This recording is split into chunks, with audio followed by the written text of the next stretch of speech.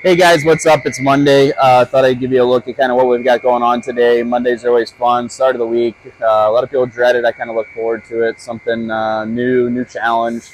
Um, and what we've got going on today uh, in this machine is some Kawasaki ZX6R oil pans. So um, obviously a lot of people think of it for um, micro sprints, the, the dirt track world, people that we kind of know. Um, also can be used for drag bikes, street bikes, kind of whatever you wanted.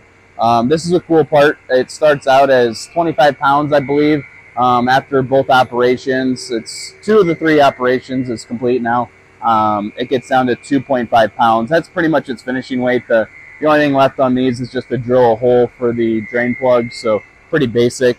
Um, over on the lathe that we kind of showed you guys all last week, we are running some seat spuds um, these are one of the spuds that we do for um, Maxim.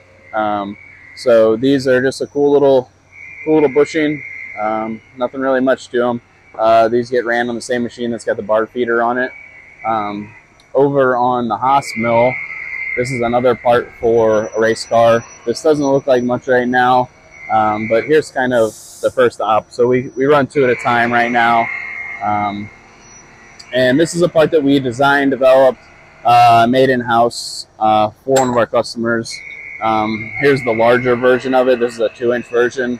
Uh, right now we're making the one-inch version for a couple orders that are due.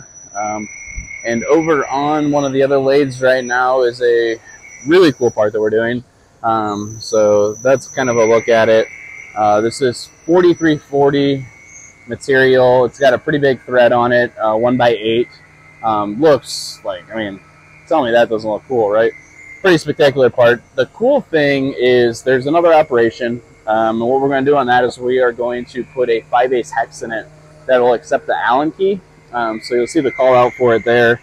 Um, and the way we're going to do that is we're going to roto broach it, uh, a rotary broach or wobble broach, some people call it. So it'll come down and just basically move the material to where it needs to go. And we just finished these up as well, which are for the same customer same kind of part, uh, big bolt bushing. Um, we refer to it as item G, which is a bolt. Um, so we have one more operation to do here, which is to thread the inside of that, which will get accepted into um, the same part that we just showed you here. So these will end up being a pair uh, that go together.